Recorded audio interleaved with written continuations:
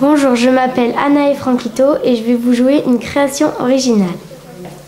Allô Romane Ouais, ça va? Pas trop mal à la gorge? Pour cette sale angine Ouais, alors au collège, c'est passé plein de trucs, il faut que je te raconte là.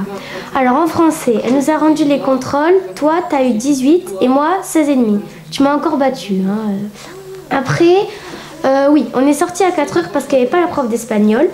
On est allé sous les arbres là, tu sais, à gauche du collège. Ouais, voilà. Et euh, il y a des garçons complètement idiots qui nous ont pris nos sacs, ils les ont mis sur la route.